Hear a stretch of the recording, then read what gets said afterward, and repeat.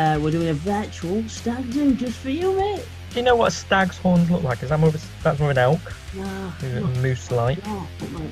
That's the devil. No, no thanks. How, how, how do you even how do you even put it on? Jimbo, you dirty bastard! He sent you a pair of uh, Sophie's knickers there. No, they're not. They're not. Oh wow! Look at you, Oh, Crikey. looks like Shrek's bollocks. Quick question uh, from the man in the cardigan.